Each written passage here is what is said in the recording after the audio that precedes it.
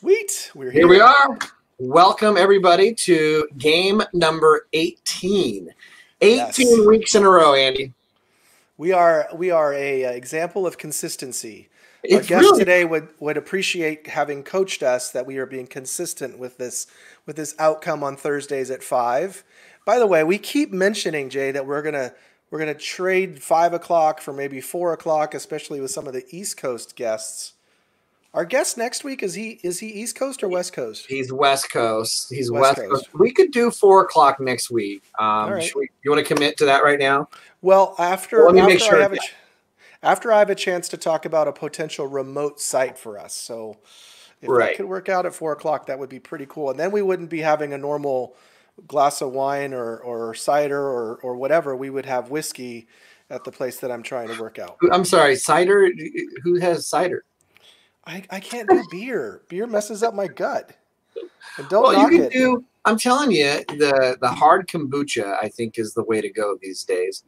There's zero carbs, like maybe 90 or 100 calories, and it's got the probiotics for you know because we're getting old. Right. This is 15 grams of carbs, so I can hear you there. although I think, I mean, I went to Ireland once upon a time. Matter of fact, our our guest is you know uh, a ginger. A ginger. Uh, so, um, but I went to Ireland once upon a time on a walking tour, and they had this drink there, and I think it was called Blums, but it was like a hard apple cider, and this was. Oh, my daughter was about a year old, so 16 years ago or so, and so I think Ireland was ahead of its time. Uh, so you either had a, you either had a, um, a Guinness or you had these hard apple cider. I think they were called Blums. So we used to think that we're talking about having cocktails while we're doing this, um, and you know, this week for most of us in California, at least, um, our kids went back to school online. By the way, I already heard from some people in California, their kids are getting to go back to real school starting next week. And I'm like, what? well, not in not in Central California because we've got to oh. be out of that out of that you know status for 14 days before the kids can go back. But anyways, so your kids and my kids started going back to school at Zoom school, right? Yes. And um, how was it for your kids? Because you know they look at this and it's not that big of a deal anymore. You know, um, Emma is just cruising right along. She's you know engaged, and you know um, I think AJ's having a little more fun with it. You know, as an eighth grader, uh, eighth grader boy we have not had any of the pranks. But should we bring on our guest because I think she'd appreciate yeah. hearing about this, and I want to hear what your kids have experienced because I I saw some notices go across um, my email and, and, and, Instagram and stuff about some of the stuff that is happening uh, on Zoom uh, in, in, the high school and middle school level. So let's bring why don't you introduce uh, yeah. our guest this week? I think that'd be more appropriate. I mean, we're both friends of hers, but I think you know her a little better than I do. So well, I think more appropriately said, she knows me a little bit better because yeah, because I have been I have been in the sniper crosshairs of Yvonne Arnold in the past in a good way. And I'm just going to tell you, when you and I were talking about who could we have on that would really like communicate to in, a, in, a, in an articulate way to the new agent, to the experienced agent, to the veteran, to the newbie rookie about systems, about technology, about a roadmap for a blueprint rather for, you know, growing their business. And we we said Yvonne Arnold. Yvonne, and she was so, Yep, she said she was so gracious to say yes, and so here she is, an amazing coach, um, a top producing agent, and then an all around great gal. So welcome, Yvonne. Cheers! Happy Tailgate. Cheers! Salute. yeah. Okay. Andy so, comfortable with his uh, his cider. Yeah, I am first, completely comfortable. I have a pen and a pencil here because I had to write a few things down that you guys were talking about. What the heck is hard kombucha? You I mean, right? I know what kombucha is, but hard kombucha, it's yeah. like never heard of that. Well, so they ferment the tea leaf, and I'm not sure how they infuse like different flavors. They have grapefruit, they've got I don't know, uh, black cherries, a, a great tasting flavor, lemon. And so, but somewhere in that fermenting process that they do dry, so it eliminates the sugars, it ends up being uh, alcoholic quite a bit. Like they, it ranges anywhere from like 4.5 I'm to, to like 7.8. Wow. Yeah. So you guys are picking on me for my cider, and this cider is like five and a half. No, it's six. Six percent. Calling it pansy. Okay, Come let's on. say what I said earlier off camera. I basically said that you were drinking a girl drink. yeah, and that's fine. Some girls can drink whiskey too. And that's and I uh-huh. cannot, and, and I cannot. I am not a whiskey girl. Give me vodka rocks, and I'm all good. Yeah, I know that about you. That's why I said that. So we've, um, and, we've had a I'm, few of those conversations at the bar. And I'm a ginger, but I'm not. I'm not Irish. I'm French Italian. So I I stayed away from that I wasn't quite sure if that meant. But I can drink like an Irish girl. So, but no whiskey. so thank so you guys for having me on. No, Andy, thanks for being here. Andy, you know, he spent the hundred dollars you gave him and told you told everyone how awesome you were. Um, no, but, but really tell everyone like where you're from, how you got started. Give us give us the elevator speech, 60, 90 seconds of who yeah. you are, so our audience has a good. Wait a minute. Now we're now timing our guests. Well, because like we're gonna have a lot to talk about today. And, Do we get to uh, time it when you're talking too? Because no. I feel like the city council meeting. I was at a city council meeting yesterday uh, in Sandpoint, Idaho, and uh, you know, if you stood up and talk, it was a three minute timer, and then the attorney came in and said, "Please sit down. You're done." so wow. there's no attorney that's going to come in and stop me after 90 seconds. We, right? And we don't even have a timer, so you're good. Oh, good. okay. Yeah. So, um, okay, night elevator speech. Um, I actually started answering phones for my brother's real estate office at 14 years old.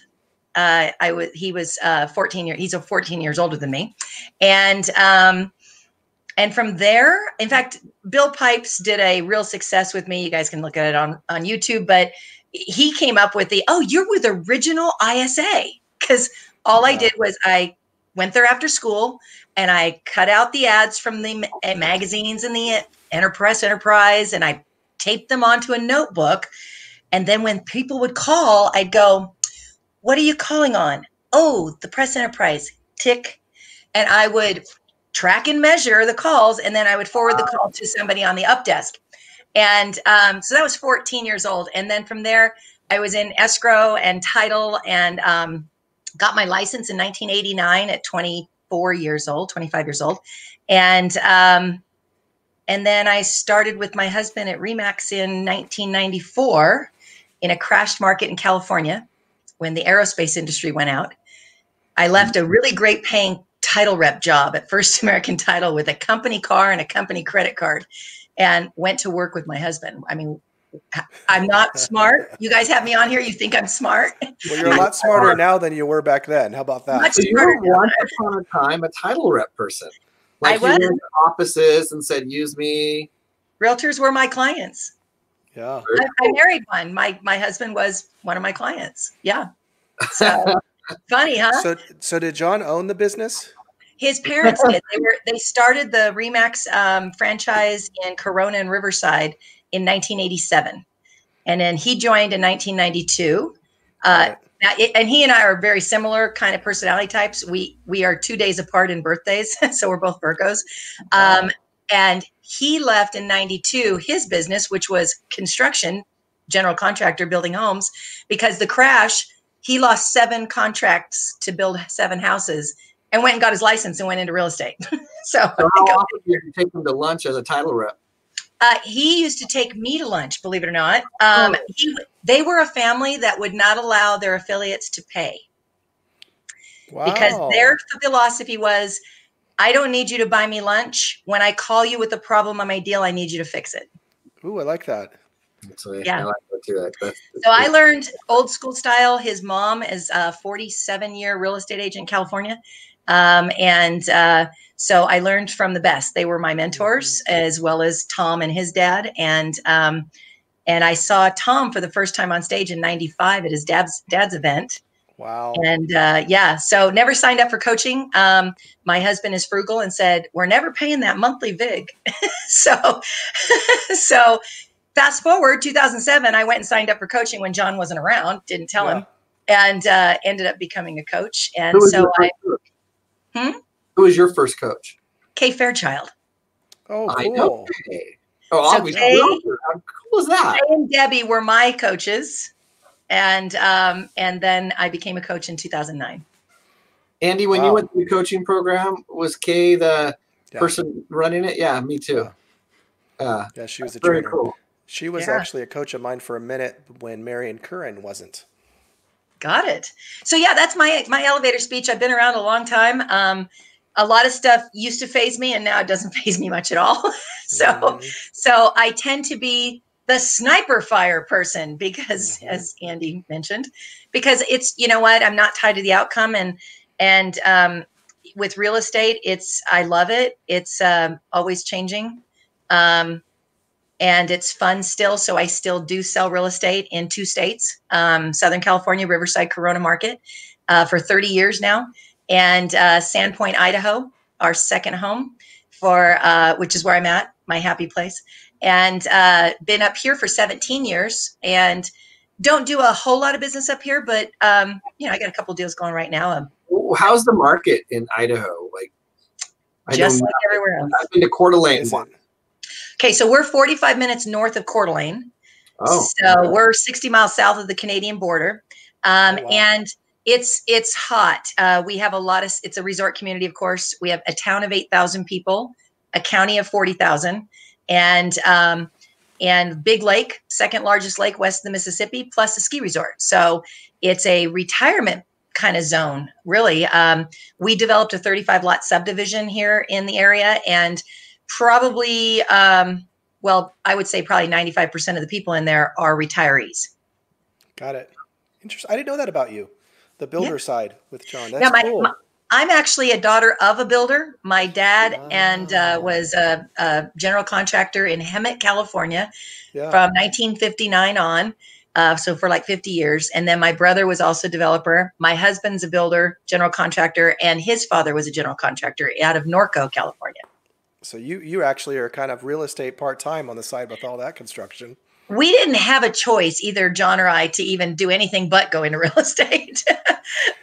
so so Yvonne, before we go to um, what we want to talk about today, guys, if you're watching, is the, I wrote it down so you can see it later. But systems, and we want to talk about two types of systems: the technology systems and the people systems.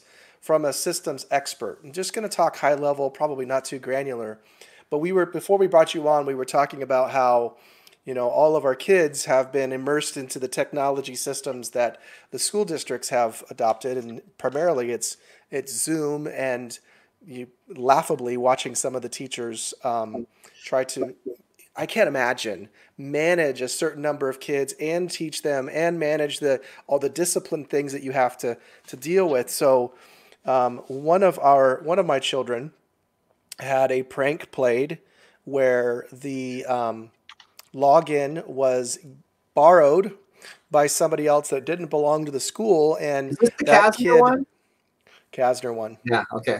And um, I wasn't going to name the school, but thanks, Jay. So, uh, but so the so the, this kid hops on and proceeds to use profanities and a couple of hand signals, and then bounces off.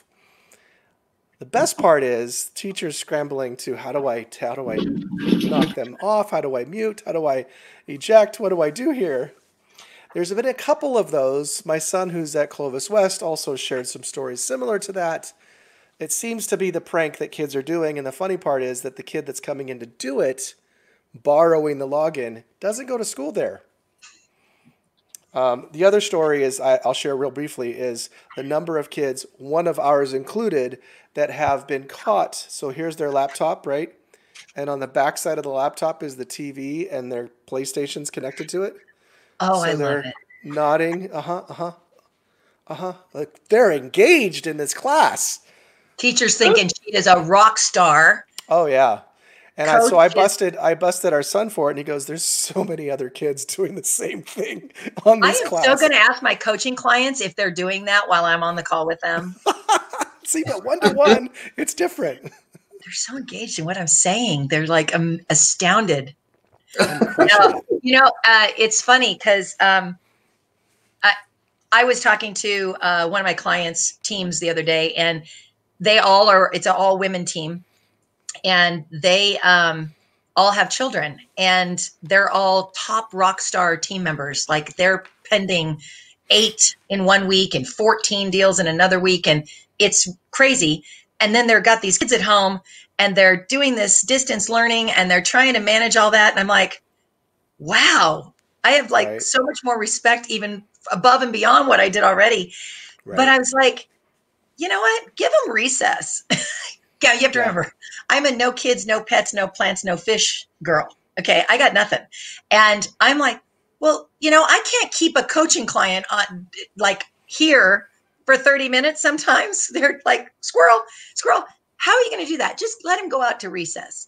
Yeah. In the middle of the classroom, just let him go out to recess. you know so, how my kids would get raised if I had any. we had um, we had Coach Christy Jenks on this show a few weeks oh, ago, and talk about badass in this season, right? With seven kids and you know amazing real estate team and the production, and she's just like, yeah, it's no big deal, we got it. She's actually uh, watching right now, by the way. Awesome. Christy is. And so uh, Yvonne, I have messages on a few different screens. So uh, Christy says hi. And, you know, I, I'm going to give a shout out to Merrill, her husband. He is on day like 18, I think. The water fast? The water fast only. And Yvonne, we've talked a lot of health and nutrition before yeah. at different retreats and stuff.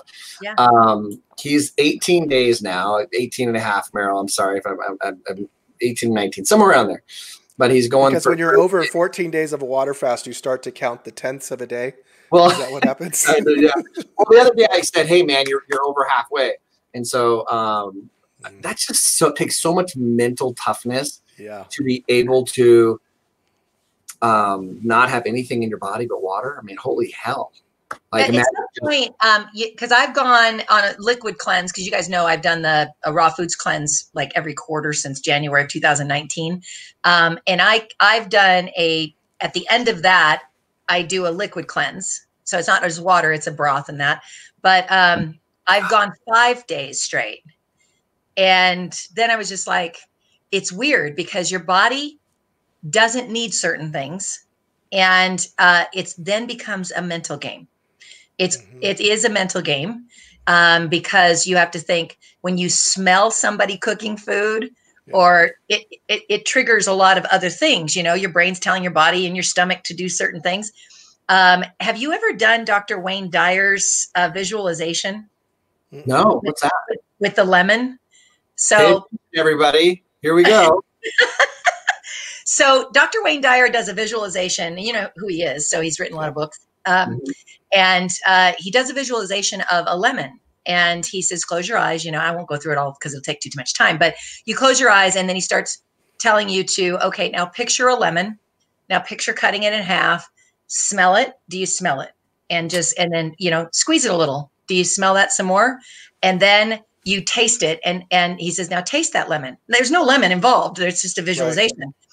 You start to pucker the the the fluids in your mouth start flowing there's no lemon around you know so your brain has a lot to do with what we we do in our diets and everything else so Love very it. intriguing to me i, I believe that works 100% um, yeah, your your brain is so absolutely strong.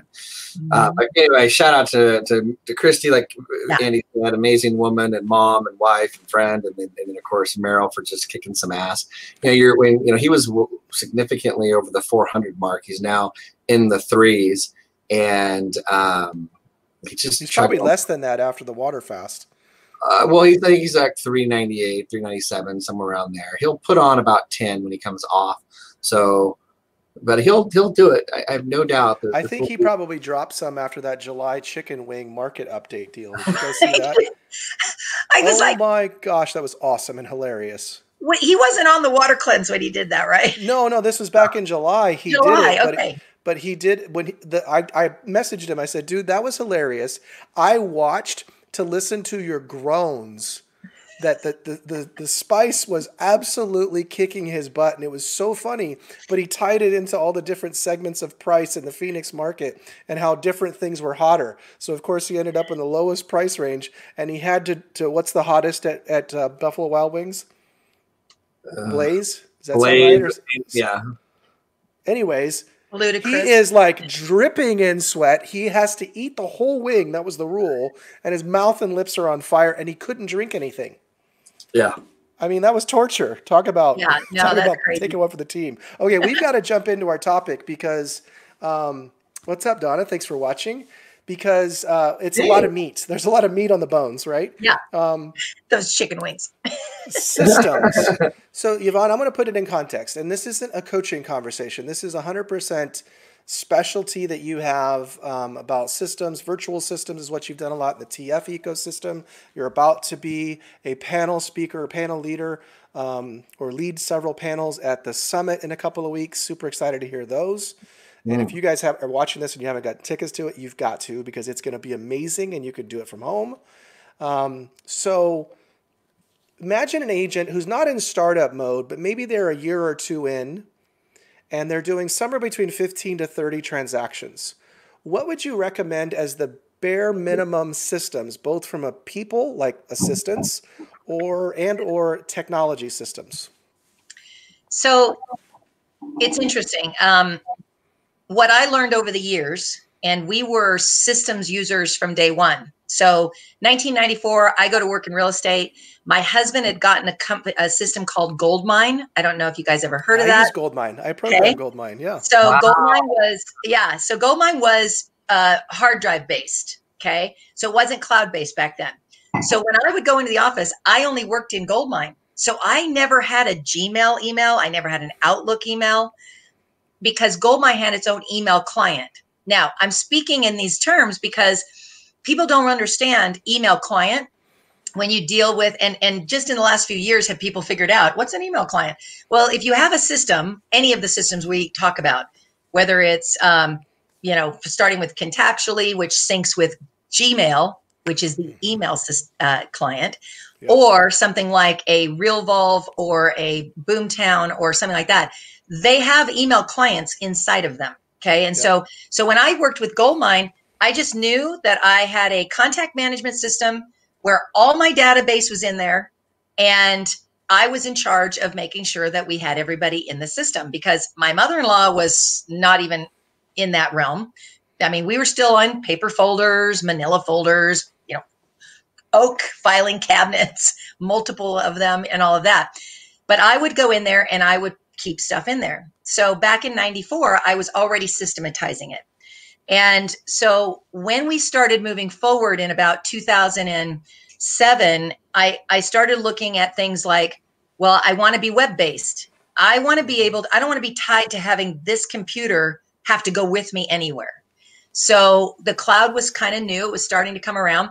So Goldmine was like $4,000 to go turn over into the web based version. Well, we weren't going to. You had that. to sync up, right? You, it, you had to sync up. Started, it, it was funky. So the very first system I went into was Wise Agent. Mm-hmm. And so I picked up Wise Agent and um was and Wise Agent a full full system or was it just CRM still back then? It was CRM. Um, it was probably the best one that you could get besides maybe Realty Juggler was still was out there at the time. Yep. You know, they were all starting to kind of come out. And so I picked up that and then I was like, okay, this really isn't doing what I needed. And then Tom started talking about contactually. So I switched over to that. And I so love contactually. I was the biggest fanboy. I was too, and I still am. I still use it. I haven't switched off of it yet. Oh, and, oh. no, I haven't. And the problem is, is that so because I'm tied to certain systems now, and and and I'm not a high performer. I'm not doing hundreds of deals, or I'm I'm doing 20 to 30 deals a year. Okay, and as an agent, so when I look at systems, I go, okay, what do I need? When you talk about an agent who's doing 50 to 30 deals, well, that's me. So I go, okay, what do I need, right? I need a contact management system, which in Virtual Edge that I launched and did for Tom uh, in June and wrote the program for that two day event. I call contact management systems a Rolodex on steroids. Mm-hmm. Okay. It is, everything cannot be called a CRM. I'm sorry. I get. Again, you know, I'm biting my tongue. I want to just like. I, I know, I know. Say it. Say it. no, no, no I told him that's his soapbox. We need to hear yours. I'm so passionate about this topic. Like I just. I know. So am I. And I'm like, so I have had conversations with like Troy Mixon at Boomtown and, you know, people at RealVolve and all these places. And I'm like, you are not a CRM. Stop calling yourself that. Um, I, Yvonne, I didn't know we had this in common. We do. We're I'm going to give you two a minute. You could drop me off the show. I'll be back. There's a difference between a CRM and LMS. Uh, Lead management system. You just wow. an acronym. Oh my god, I love you right now. Wow. See, she's the ginger is running to her cheeks right now. Look, I'm not going to put my mom in Boomtown. Seriously, I um no, you are not going to put your mom in Boomtown. Okay, so so when I look at it, I go, okay, a agent, any agent, new agent or twenty year veteran doing five deals to thirty deals a year needs a Rolodex on steroids CRM. Okay, and that system can do a couple of things depending on what you pick. It can be a lead management system, LMS, because you're calling your leads and the, they're advanced enough to now to feed leads from Zillow and open houses and Facebook ads and all that yeah. into them. Almost every single one is able to do that. Yep. And if they can't, they can zap them with a Zapier or they, you know, whatever. So, yep. so you have to have that. That is the base system. So to Andy's point, that is it, right? I don't care which so one you, you would. Get. You would say fifteen to thirty. You don't need transaction management system. You don't even necessarily need an assistant. Uh, yes, you do. So which here, one? so then we go into the next layer. Okay, so you're an okay. agent's doing twenty deals a year, and you can you're doing that for two, three years in a row, and you're capped out. You can't get beyond that because you're pushing paperwork all day long you're sending in California, you're sending out, you know, 37 disclosures documents in a package. You're trying Don't to get it back in. You're you're doing PEDS, you know, COVID disclosures. You're running ShowingTime, but not today because they were broken. Um, and so, you know, you're doing all this. So you need an assistant. Okay, that's the first thing. The assistant comes in when you get to about 20 transactions so that you can go to 40 if you choose, or you can just take every weekend off or nights off.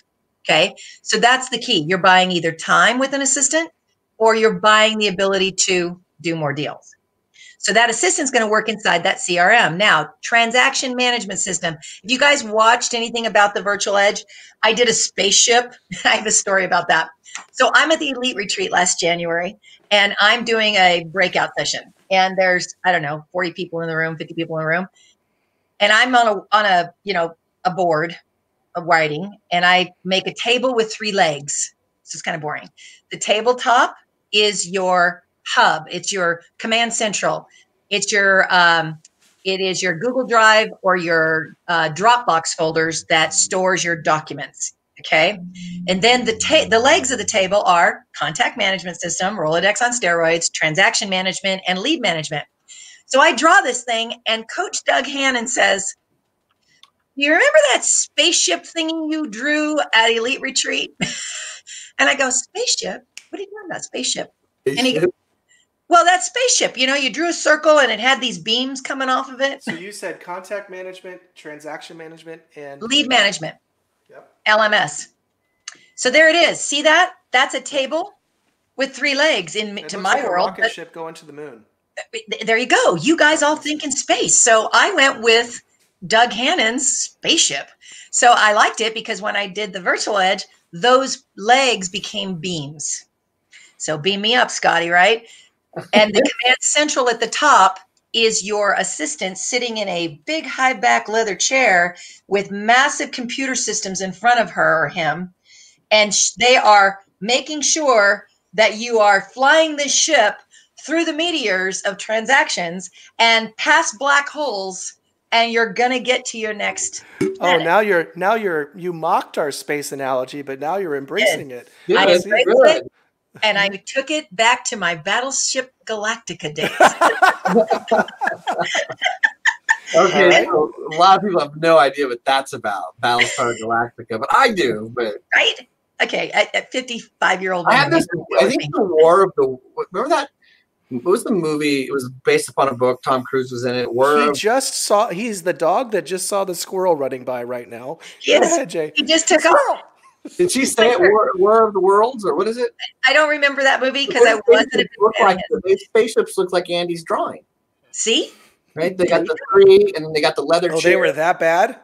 Yeah, leather bad. Or you know, you could go Star Trek and Deep Space Nine, whatever you like. Okay, but okay, you just so have, have, a, I have a question yes. Squirrels coming back. if you're if you're the 15 to 30, this is the this is the full Okay, no. Top for the 15, 15 to 30. to 30 is going to be the top command central, and that's either you, yourself, and that's it, me, myself, and I. Okay. And I'm command central, and I'm contact management, and I'm transaction management. Yeah. Because your contact management system is going to be your lead management system because all your leads are going to feed into yep. Wise Agent or Realty Juggler or whatever, right? Okay. Now, what I found out, because see, when I say I, I'm still on contactually, because back in 2012, 2011, uh, we got dumped into a short sale world because there weren't, we were foreclosure agents, we were REO agents, and uh, there were no assignments because of the lawsuit, the $25 billion lawsuit between the banks and the, and the government. So they stopped foreclosing. So the REO agents, the numbers of REOs just dropped to the floor and we had to do short sales because that's was all that was left in California. There was nobody that had any equity in 2011, and so, um, so in 2011, I was doing short sales and got in with Tom because Tom introduced us to Bank of America's DTS program. Yeah. We got the short sale um, leads from Bank of America being associated with Tom and coaching. And so we're out there knocking doors on short sales and I'm doing them with, and I was pissed because I was already techie and I was pissed because it's like, I'm standing at a fax machine and I'm faxing all these packages to those damn asset managers who go, Oh, we missed that page. We didn't get that page. And I'm like, all right, I'm going to kill somebody. And so, and I'm doing it all on Evernote because I'm paperless already in our office. We were already paperless. And I'm like, okay, something's got to give here. So I went to the Remax convention in January 2012 and I walked through the expo and I saw these guys. Well, it was Short Sale Commander had changed their name to Realty Commander. Yep. So I walked up to them, and here's Eric Lovell and uh, Randy Toby, and they're, you know, Eric designed the program. They're out of Michigan. They were realtor investors who developed Realty Commander, Short Sale Commander. And they needed to figure out how they were going to do all these deals that they were buying and selling and doing all this stuff. I said, Show me your product and do it in five minutes because I'm a driver and I only do bullet points. And so he goes, All right. And he showed me five minutes and I went, Sign me up. So starting in 2012 in January, I did in 2012 42 short sales by myself, negotiated listing side with no assistant because I got Realty Commander as my transaction management system. Good systems. And then because I was saying, I, I called him up and I'm like, hey, you know me now. I had cocktails with you over at the Chandelier Bar in Vegas. I need you to connect to my contactually. So what happened was is I don't have to double enter anymore. I now am using a transaction management system that talks through an API key to contactually. And as long as all my contacts are in there, all I have to do when I do open the deal is move them over and, and it syncs and it pulls everybody over into the transaction. So now I'm able to do a lot of deals as a solo agent with no assistant. And those were the hardest deals you could do, as you know, by sure. yourself. So that's where transaction management evolved. So now I'm thinking, okay, there's got to be a product that's a CRM transaction management system together. So as I was researching and stuff like that, RealVolve came into the radar. Mm-hmm. So RealVolve is a transaction management and Rolodex on steroids combined. So a lot of my coaching clients and people that I know and people that I've talked about it, they have gone there. Okay. Now, what happens with all these tech companies? They get acquired. They get acquired. Or they try to do a gazillion more things other than the two or one thing they designed themselves to do. Correct. That's kind of what ShowingTime's going through right now. Well, here's the deal. Realty Commander got bought by Showing Time and stopped innovating. Yep, because they acquired. Because Contactually got bought by Compass. So a lot of people went, "Oh, I don't want Compass to have all my contacts." Okay, right. That happened, and then RealVolve got bought by Firepoint. Mm. So now so we have all these products that are actually very good products but they're not innovating and they are now owned by an entity that has other plans for them. Yeah. Like just like Zillow bought Dotloop. Okay. Same thing, right? So now I'm Which like, one's okay. going to be interesting is the SkySlope getting acquired by Fidelity. Uh, interesting. Yes. That's going to Yeah. be interesting because they're Considering their so many brokerages use, Yeah. you know, that Well, product. thankfully, Fidelity's not a broker, but still having one massive tax plant. They own some brokerages, but they don't own it as Fidelity. no, and they own Paragon and they own Mhm. lots of other things. Big data plant. big, big, big data. Uh, Bill Foley, the owner of that, is a really brilliant guy. Yep. And uh, one of these days, our paths are going to cross. He had he bought Big Mountain over in Whitefish, so he owns the ski resort over there, and you know, so. He had a restaurant here in Sandpoint, Idaho, for a while under his restaurant umbrella. So yeah, one of these days, wineries we go to, all of that stuff. Anyway, I diverse. So um, so now we have systems, and now I'm looking at okay. So now you're saying, okay, what do you need? Well, you need some sort of transaction management system to automate because we have too much happening now. There's way too much activity. It's too fast. Texting, clients that are seeing stuff online, you can't keep up if you are by yourself as a solo agent without an assistant and no technology. You just can't keep up. And so when when I look at that, I go, okay, if a, an individual agent needs something, get the assistant first. That assistant needs to be the opposite personality of that agent.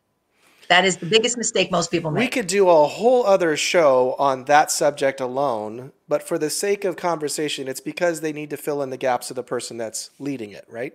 Yeah, they need to be an organizational thought process person. They cannot be an artist. Uh, they cannot be high eye, interpersonal, you know, really active because they're too chatty Cathy. So mm-hmm. that's very important to go very deep into that hiring process and find the right person or go virtual. There's a lot, a solo agent can have a virtual assistant that does listing coordination, transaction coordination, and some marketing. And if they will work in your systems, a lot of them will, then you're good because now you have oversight of them through your systems. That's a key factor in my book. Now, moving on to the systems, now a solo agent needs contact management, Rolodex on steroids, the ability to feed leads into it, and the ability to do automated um, tasks so that they don't have to remember what's coming next on that listing. Right. Okay. Did I remember to put that on my front page of my website for marketing? Did I remember to post my my tour factory virtual tour on social media for that new listing? See? So those are task lists that almost every product that you can find will automate that. So Trello. Trello is actually a very good option for a solo agent to use. And if you get the paid version, it you can uh, auto it, you hook it up to your Gmail and your Google Calendar, send you emails to tell do you, hey, you, do you use Trello? I use Trello for a do doing done board. However, I have some clients that use Trello at a high level. Maureen Folan in Queens, New York, number one agent in the market.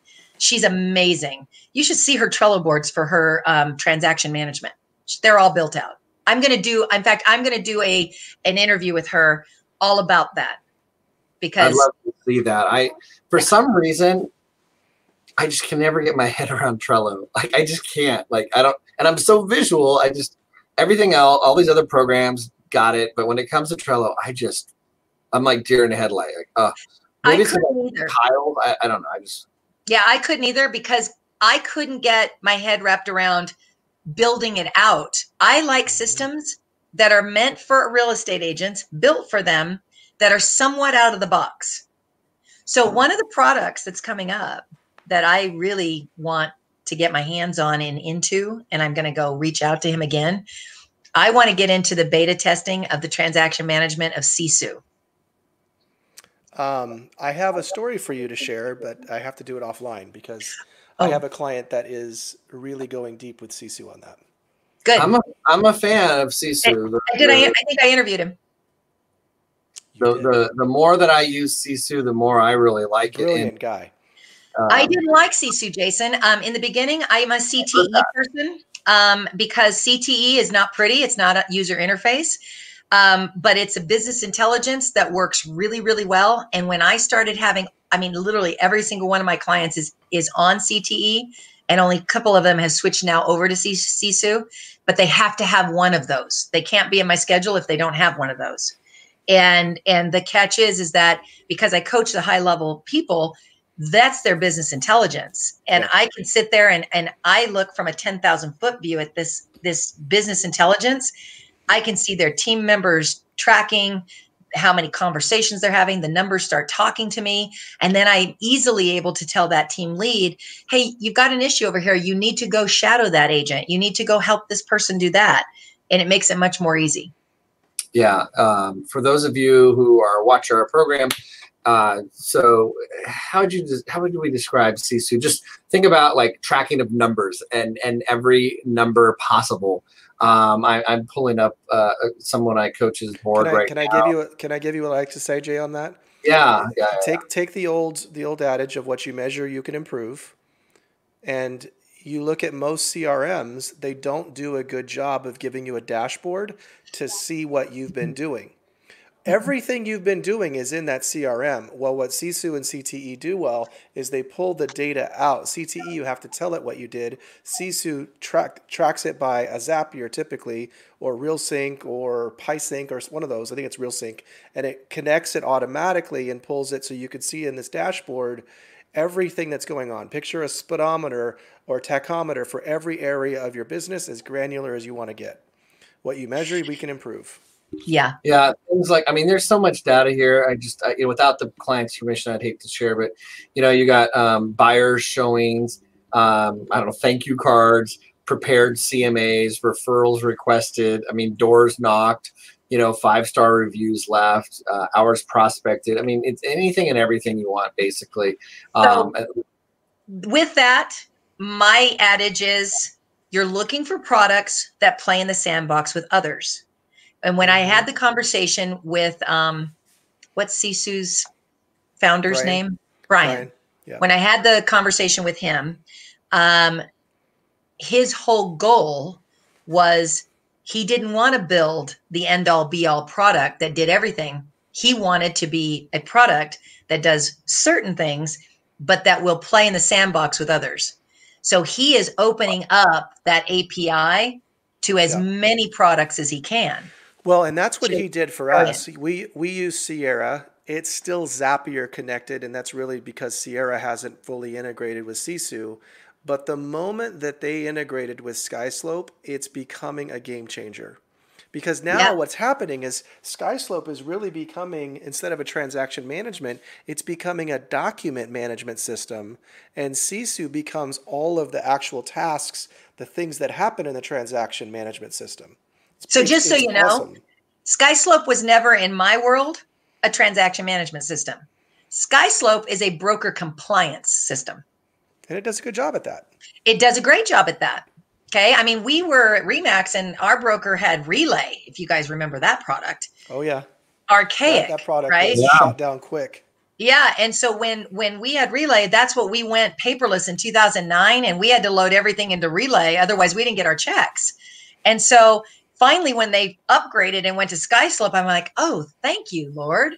You know, this is wonderful. But then what I realized as a coach and dealing with a lot of people that had SkySlope, if you are a team, uh, if you're an agent, say I'm an agent over there at Frez, yes, and and Jason has SkySlope as the broker compliance.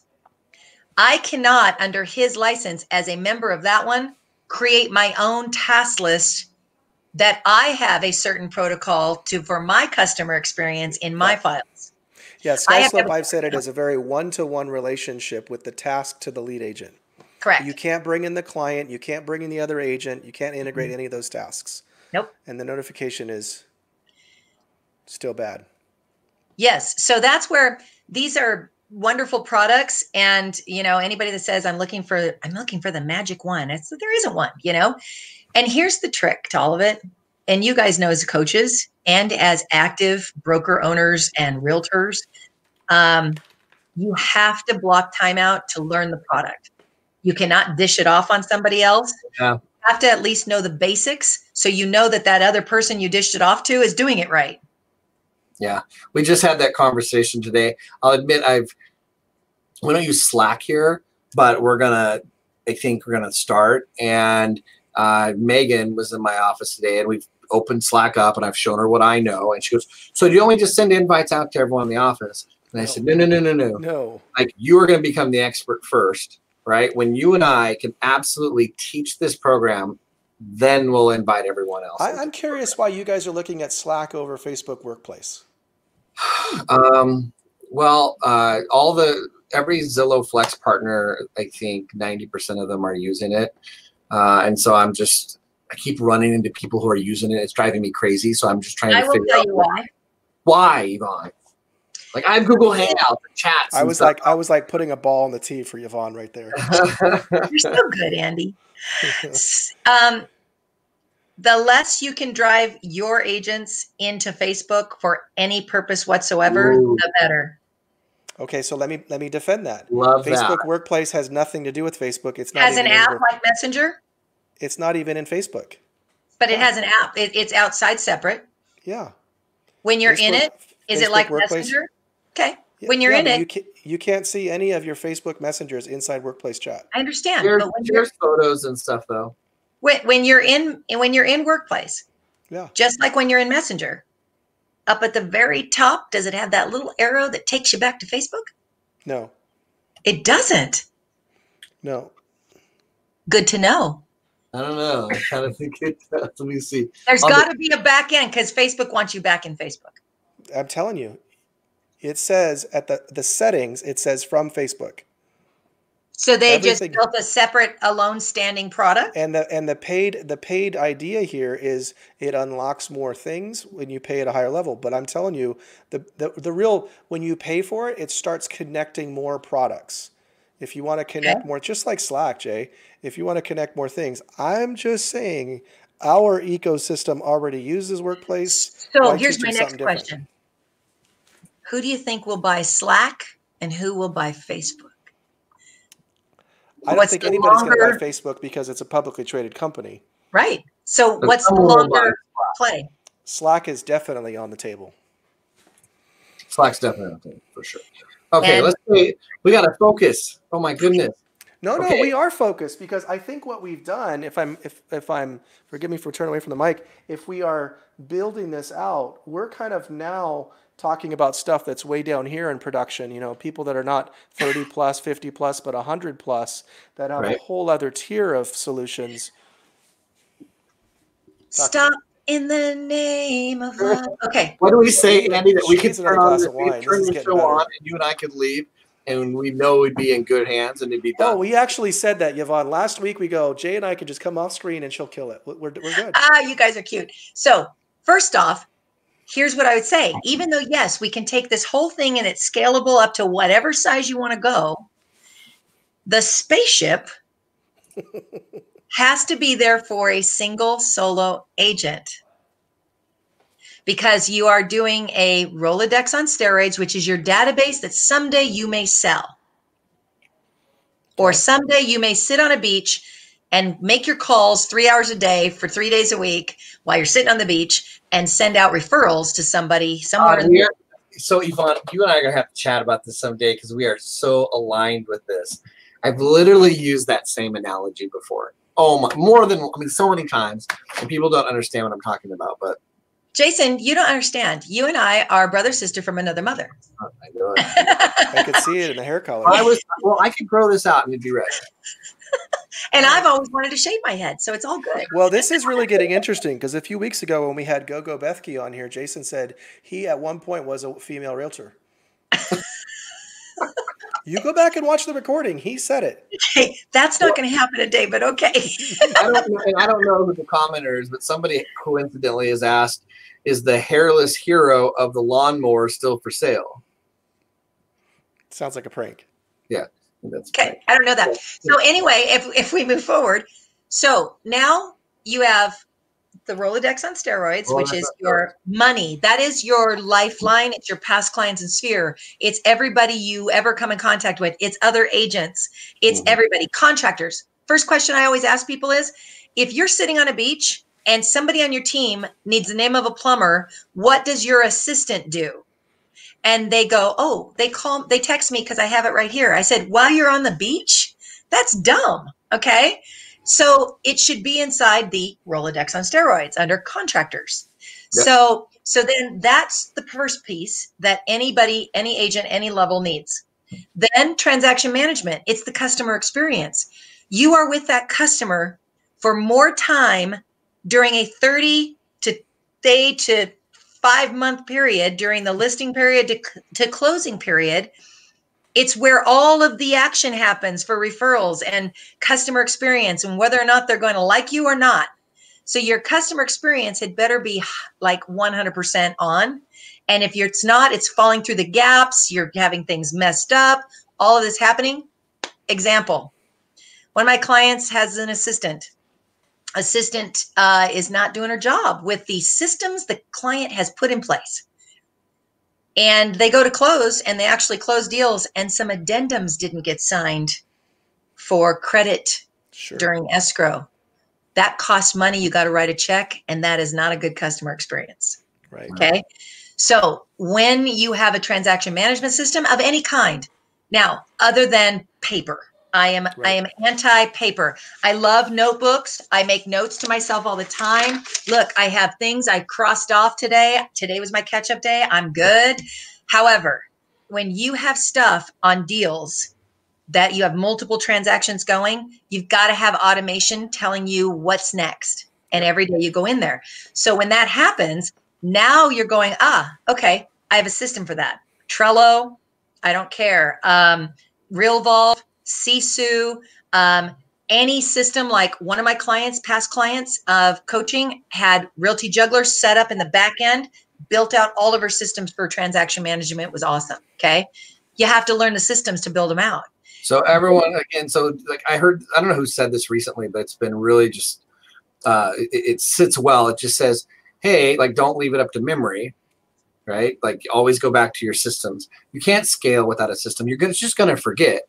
You know, you just, in, in matter of fact, um, Corey, who runs our office, you know, like she has an amazing transaction coordinating team. And every once in a while, something will get missed. It's rare, but it happens. And immediately she knows that people have gone away from the systems. So she'll go back and go, Remember those check sheets?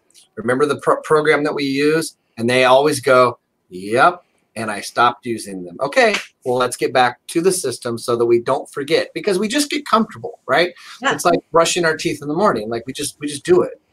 So know? the problem I always see is the assistant or the agent gets rolling, they start using a system, and then all of a sudden they divert back to sticky notes and notebooks and paper. And now shit's everywhere. okay. Yeah. And it's like, oh, okay. Well, should we go back and use this now? Then the last thing is lead management, and that ties into everything. I have a team right now, a team lead, one buyer's agent, one admin, and they're using RealVolve as all of it. Interesting. Because they can. They can go transaction management, Rolodex on steroids, and lead management until they get to maybe two or three buyer's agents on the team there and start scaling okay. it.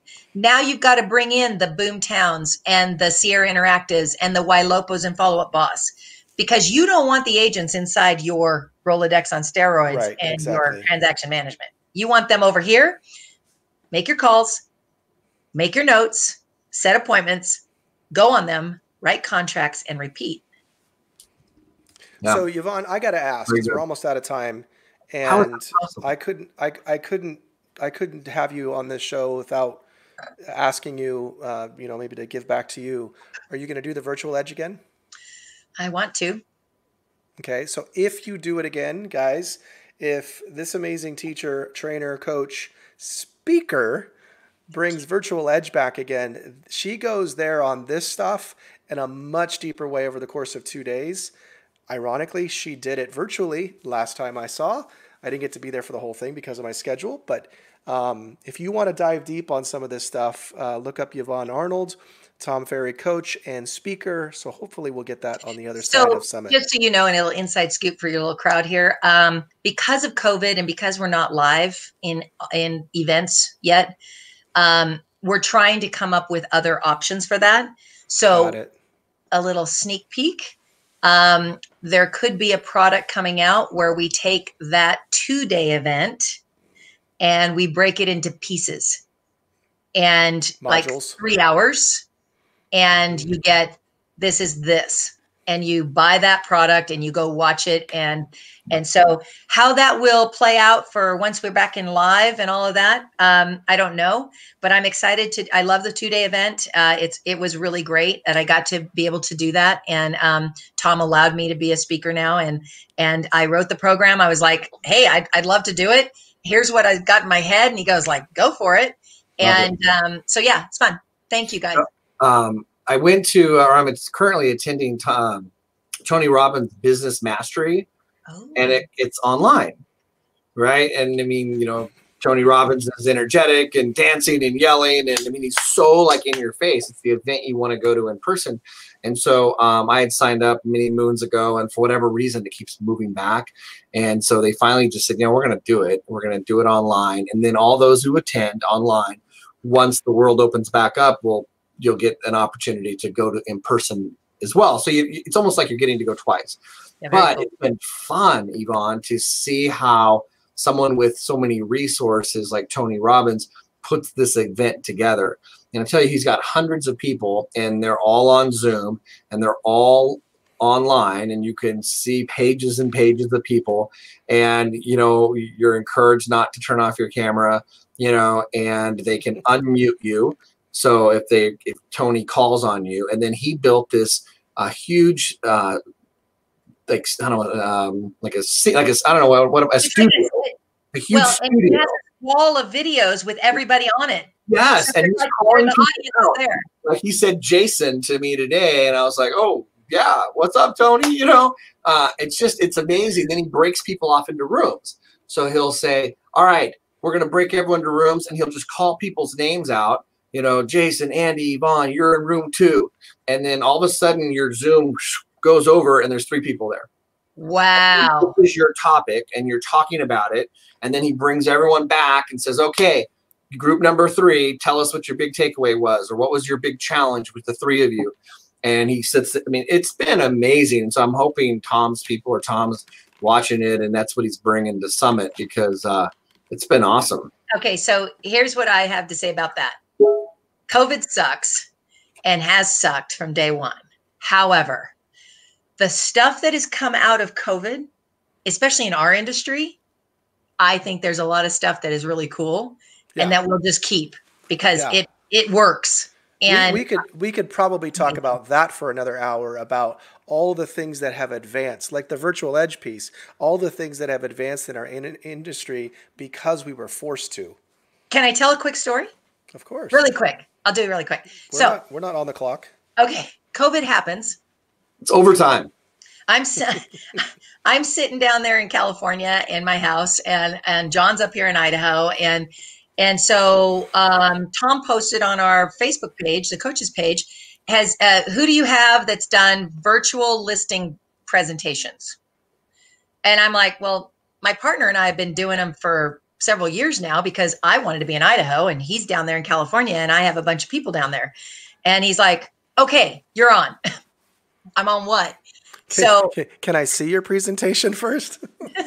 no, he didn't ask that. Are you kidding? He knows you. Oh. He knows you. so, so I go, okay. So he goes, we're going to go live on Facebook and we're going to start this virtual training. And it was the beginning of our pivot program. And um, so, like the night before, so I'm researching. It's like three days before the event, and I'm researching. Okay, how do I go live on Facebook? And how do I do it where I can screen share and do all this? So I'm like doing the Google thing, and and I figured it out. I'm like, okay, I can go into a private group, but I all I have to do is ask the office to make me an admin of his private group. That's all I need, and I got it covered. So that night before, I said, I texted him. I said, Tom, do you want to be on with me tomorrow? And he's like, yes and yes. You know, he'll never pass up an, op- an opportunity for the camera. And I'm like, cool, yeah. Let's do it. He's like, my team can help us with that. I go, no, I got it covered. I'm going to send you the invite. All I need your team to do is make me an admin. So I sent the whole thing, uh, and they're like, well, I don't know about that. I said, no, just make me an admin.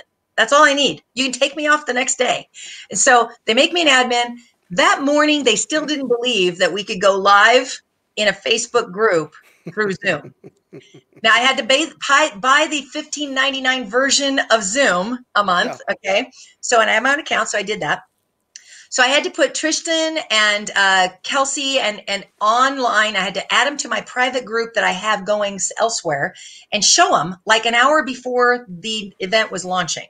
So I did all that, get them on, and they're like, oh my God, this works. This is awesome. I'm like, yeah, isn't it great? This is cool, right? So then we bring Tom in and we do this whole thing on Facebook Live in our private group. I'm screen sharing. I'm showing them how I do a listing presentation, how how I show them like here's the comps and here's this.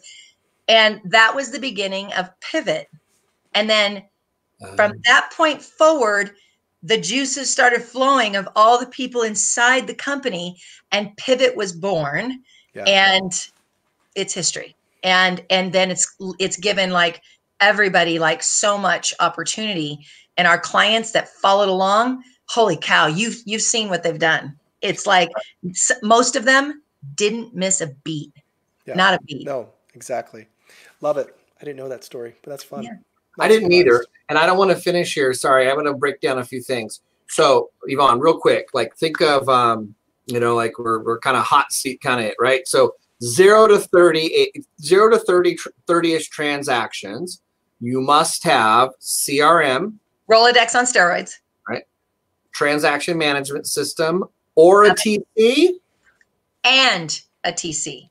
Okay. For 30 transactions or under, you because like we want have- you to no 30 transactions, you can do it with technology. You don't need a live person. Mm-hmm. However, when you get to that point, you're working a lot of hours. Yeah. You're working after hours because you're showing property and listing property during the days and you're working on paperwork at night. Okay, so shout out to all the TCs out there in the world, but like that was a big thing for actually for Andy and I uh, back in our early days. Was he asked the question, "What is it? What do you need in order to do more than the 40, 50 transactions you do every year. And I said, I need someone to handle the paperwork. Like yeah. I get around in this stuff. I didn't get into this business to dot I's and cross T's. I got in this business to help people buy and sell homes. Exactly. And so when you take the leap of faith and you get into allowing someone to handle that for you, right, who's probably better suited for it anyway. It if opens, you hire right. If you hire probably. right, it opens, probably it opens the door for you to you know meet more people and do more transactions word of warning though there are agents out there who will hire the tc and then use that free time to go play golf or uh, have an extra cocktail or get up at 10 o'clock in the morning instead of 6 or 7 and those people are the ones that very yep. quick mm-hmm. right so yep. now i want to scale or even more right let's say i'm somewhere around that 35 40 transaction mark i've got my tc I've got my CRM, I got my LMS, and I, but I'm, I'm wanting to do a hundred. What do I need? Do I have to hire somebody? If so, who do I hire first? Do I need another system? So usually, what happens? The must, not the dream. The must. No. The must is boots on the ground. Now you need an outside licensed salesperson. Yep. I don't care what you call them. I call them a buyer's agent because for a reason. I want them to take the buyers that I don't want, which is the majority of them, because I'm going to turn myself into a listing agent. Okay. End of story. Because I can control my time as a listing agent way better than I can as a buyer's agent. That means that now I have time, like you said, not to go play golf unless I wanted to. And I have time now to really build out the base foundations of a business and the systems and make them better and scalable, bigger. And now I can build a buyer division and then I can add on a listing assistant and I can build a listing division. Because, see, in my brain, I think like corporate. Corporations have divisions, they have a sales division, they have a customer service division, they have divisions. And a realtor needs to think the same way if they're building, if their goal and their desire is to go big. You have to break it down. You have specialists in their fields. And one thing I, will never forget it. I said I got brownies because of it at cookies from Glenda Baker because I was at I was at an event with her and she says, "So Yvonne, um, so I have these agents and I'm going to let them do listings and buy sides." And I go, "Why would you do that?" And she said, "Well, why wouldn't I?" I said, Glenda, go back in time when you were an agent by yourself and you did listings and you did buy sides. You were capped at a certain amount because you had to take your buyer hat off and put your listing hat on. You had to take your listing hat off and put your buyer hat on. And they're two different styles. Buyers are more touchy feely, build the relationship, get them in, you're with them longer because you're trying to find houses for them, except for right now, you know, you're trying to find houses for them in any market. Sellers are like more direct. What are you going to do for me? How are you going to get my house sold? I don't need you to pansy PR me and make me feel fluffy bondy. I need you to sell my house. Mm-hmm. It's a whole different personality type. So now you get divisions and you build them out and train them accordingly. And then sometimes your buyer's agents, they get up to 30, 40, 50 deals a year. You you all have teams that have agents who are only working buyers that are doing 40 deals a year or more as an agent, buyer's agent for a team. And that person then goes, I've been doing this for three years. I'd kind of like my weekends off. How do I do that, team lead? Okay, let's see if we can move you and transition you into the, the listing division. That's Got it. it. That's great stuff. Let me ask you because it just came up on I think another episode that we had of this, uh, Andy. Um, is do you allow your buyers agents to list property as well? Yeah, so that's the that's the, the, I just gave you the answer to the question. In my mind, you do not. You do not. You do not because it, again. Who was it, Andy, that felt exactly opposite than Yvonne recently? I, I guarantee you, a lot of people do, but that's because they are complying with what that agent wants, not with what they believe their vision is to build a business. Yeah. Yeah, I don't remember want, that agent. was. They're appeasing the agent because the agent's like, I want to list these properties now. I don't want to just hand them over to somebody else on the team. I don't want to hand them to you. Well, why not? Well, I want to make money on it. Well, but you don't have the skill set to close for that listing appointment. You don't have the skill set to get a price reduction. You don't have a skill set to understand how we're going to market that property. Now, See, you want to get into the training program? Great that's where I sit as well. I think it's an entirely different skill set. One doesn't have to come necessarily before the other. Like you don't have to be a buyer's agent first. No. Uh, even though that seems to be the path, it doesn't have to be that way. But I think there is this like, okay, let's put you through like Yvonne's plan, right? Or whatever the team lead's name is. And, you know, and you say, okay, here's my expectations. Here's the skill set necessary to to to uh, to do that. And so let's go. And then you run them through the program and like, okay, great, go for it. First listing, you know, exactly. and they're performing on the metrics, then great. Then they've moved over and now they're a listing agent uh, or, or they're a part of that team. So but to your point, they don't have to start on the buy side. Literally, if you've got a buyer division pumping, you got two or three agents that are doing really well on buy sides and they love it keep them there. That's because likely they're an IS yeah. in their disc profile. Yeah, okay. and there. then you go, wow, I am I'm listing, I'm going on like four listing appointments a week. This is crazy. I need somebody to be my listing assistant. Now I'm going to go look for a listing agent, an agent licensed to come be my protege. Let me put and you on the spot because we're getting some comments about this. Yvonne, is you brought up personality types a few times tonight, is what yeah. the comment is on my board. And they said, what is the ideal personality type for a buyer's agent? First, I will tell you there isn't really a true ideal because it has to do with not just that disc profile piece. That's a part of it.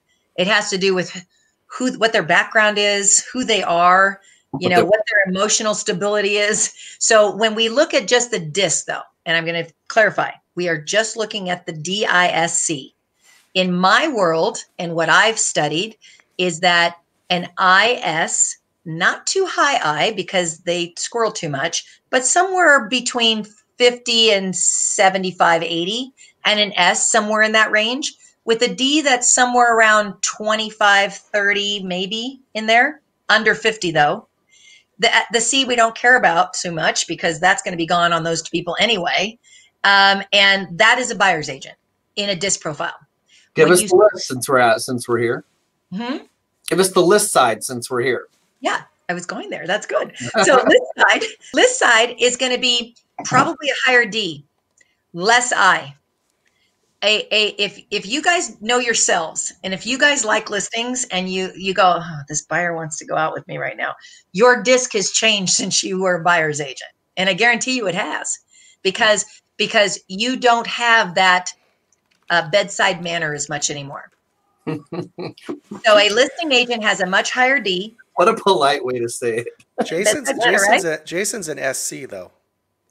Okay but that, I'm kidding. I'm I, kidding. I'm kidding. He's, he's not. not no, he's not. No, not at all. You might be. right. The amiable one is not. No, okay. Not. So ideal. I mean, I know I'm not ideal, but a, typical a DI, a DI with the listing agent. Okay. Uh, admin assistant. SCCS, but you need that I to be a little bit around the 40 ish range because you want them to be nice. If they're low, yeah. And the D, can be anywhere. You want somebody that's going to be more of an operator, their D is going to be a little higher. And if you want somebody that's going to be more compliant, their D is going to be lower. However, an SC can be or a CS can be a hidden driver as well, depending on how good they are. How important are these when you're hiring a virtual assistant? Because we talked about that earlier, but we didn't go deep on it. So, real quick, because we have a good audience right now. I think it's important. Yeah. That's a great question. That's a great question. You know what? I don't think I've ever looked into that, but I do think it's important. So we're we're interviewing we're interviewing about four or five VAs next week for a project we're working on, and I'm so grateful. Summit VA shares the disc profiles, the full comprehensive disc profiles in advance. And I know who I am, I know who my dad is, and we don't need anybody else like us. if we have more than one driver on the team, it's going to go cuckoo. Yeah. But we need we're, we're, missing a high C. We're missing yeah. a high C desperately yeah so so that's great. I mean i i think it would be the same on a virtual as it would be in a live in person in-house person. Um and then i'd want for them if they've done they got a track record i want the resume. I i wanted i want references. I want to grill whoever they've worked for. Yep. Because they have an independent contractor business and they are saying they're great at what they do already. You know what we need for this show jay? What's that we need Brie Martin to be able to come alongside and take the notes of all these amazing speakers. Oh, can I come back? Because I've always wanted to have her art my oh, words in her art. Right? Why have we not thought of that? I've got a whole wall of Brie Martin original know, from your speech. Yes, from my from my stage stuff and from the 5 a.m. calls uh, with yes. Sharon. Um, we, need oh, a, we need a VA that does Brie Martin. you, you could just what? send her the recordings or say, hey, could you go look at these recordings and do a few little artistic additions? She's she's fantastic, and she's in uh, Wyoming. Casper, Wyoming, beautiful place. Oh my yeah. god. She's yeah. in Wyoming, I believe. So if you're looking to buy or sell in that neck of the woods, give Brie Martin a shout. So uh, she's volunteers her time to a lot. She actually has a Facebook page of just her notes, or art by Brie, or something like that, right? Yes. Every every event she's been to, his notes are on there. Yvonne, yeah. we've kept you way beyond Idaho time. So no, it's what it's mountain time there, seven fifteen. No, you don't know. You don't realize I'm sitting here in my perch. I call it. It's the upstairs of a 1907 house, and uh, as Mike Shum would say, it's like I'm the big woman in the little house. And um, and I'm my husband went. Uh, we literally walk to the bar, and he went over to meet his friend for a beer. So I'm just going to go join him. That's Good. life in Idaho. Oh, Love that. I know we don't have to say this, but super appreciate you. Thank you, yeah. thank you, thank you for your generosity, your wisdom. Um, absolute amazing content as usual. Totally in your wheelhouse. Like we didn't even go there yet. There's so no. much more that we could have gone to. I could do this forever. I, as you can tell, I'm a little bit geeked out about it. But well, I, I, I, would need another cider, but you guys would pick on me more. I would be like the 24 hours of real estate or something. Right? And you just oh. go and you bring another guest and another guest, and people could chime in. Like, I'm going to go there at 3 to 4 oh. a.m. Oh, I have an idea.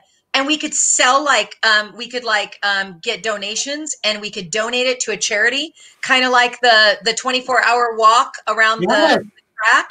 We could do it on real estate on a Zoom for 24 hours. That'd be so good. Audience would not be there, guys. Okay, yeah, I gotta go. Would you don't know, Andy? We put you at the 4 a.m. slot. You'd sell out for sure. right. Thank you, guys. I appreciate you. Thank you, Yvonne. Enjoy your Thank beer. You. We'll enjoy your wine at the pub. I will. Bye. Thank you again. Bye.